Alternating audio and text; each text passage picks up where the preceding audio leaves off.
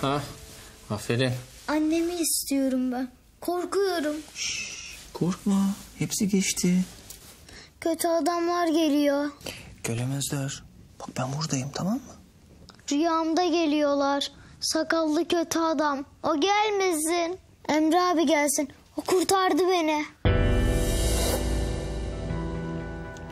Mert. Mert ne dedin sen? Seni Emre abin mi kurtardı? Ya Ha. Sen seviyor musun Emre abini? ya evet. Bak şimdi ne yapalım biliyor musun?